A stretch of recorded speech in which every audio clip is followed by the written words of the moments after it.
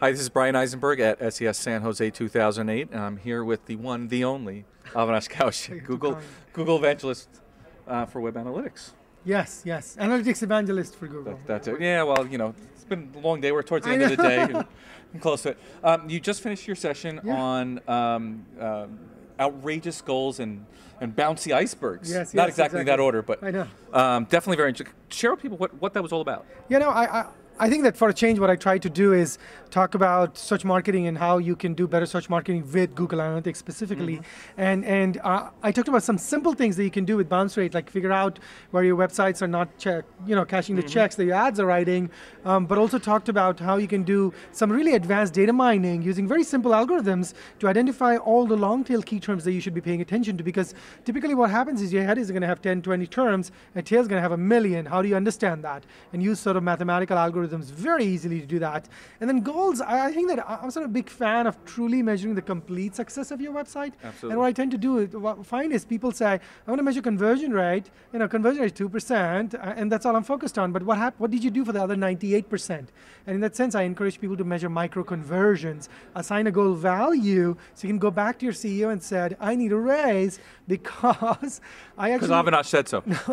because I added, you know, like $10 million worth of direct revenue, but the website also added another $30 million of other value to the company that we are never measuring. And that's really a better way to then go back and figure out if your AdWords campaigns, your adCenter campaigns, your email affiliates, if they're indeed delivering the value that your company expects. So that in a nutshell was sort of the the, the theme of the talk, but I also wanted to highlight a lot of work that people have done outside, uh, our partners, our friends who've built extensions on top of the GA platform to actually build really cool stuff. Um, that, that really is amazing to me because they're closer to the problem and they can find unique solutions faster than anybody else could, whether it's Google or any other company. Exactly. So I'm very proud of the work that's happening outside Google and I sort of want to showcase that.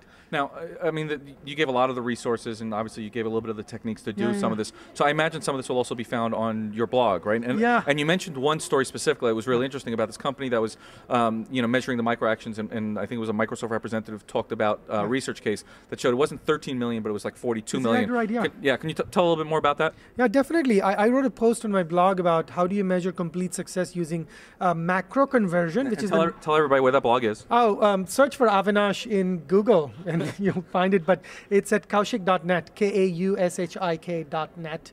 Um, but I wrote a post about macro and micro conversions and, and truly measuring value. And what, what happened is in the comments, somebody from Yahoo added a link to, to a study that they had done. And what the study showed is that for this particular person, when they measured the macro conversion, um, the outcome was $13 million worth of revenue. But then when they measure all the micro conversions, the total impact on the company was $43 million. So you can imagine sort of going to your boss and saying, give me more money to hire an analyst or a new CRM system, or you know, I want to hire Future Now Inc. to do persuasion architecture. And it's like, oh, I don't have any money. But when you go and say, look, we added $43 million worth of value, then they're like, oh my goodness, this is actually accretive. Let's go spend some money in order to improve it and take it to the next level. And it shows how much more impact you actually had, not 13 million, but 42 million. The, the um, other thing is, I know you shared the panel with Tom Leung, who's the product manager for yes. Google Website Optimizer, um, and he announced one very important feature, as well as some additional resources that have uh, uh, have come out over the last few months to really help people um, pick up the momentum they've been already starting to have with Google Website Optimizer. Can, you- can you share some of that? Oh, absolutely. I'm, I'm a huge fan of the Google Website Optimizer because it's just so much more fun to do experimentation and testing anyway. Um, so the, the feature that Tom announced, he announced a bunch of things, but the big one that he announced was doing some pruning. And what, what happened is a lot of people complain, I don't have enough traffic, and then how do I actually run tests faster and keep iterating and improve my website, which is a strategy I recommend. So what Tom, uh, what, what we've released today is a feature that allows you to look at your data after a few days of the experiment pick the losers, the complete losers, and just kill them. Just prune them out of the test so you, you know they're dogs and we're just going to get rid of them. And actually, so that allows you to send traffic to the ones that will potentially be winners or the ones that we looks like are really going to be winners. And Or in Avinash language, they sucked. yeah, exactly. Get rid of the ones that suck very fast.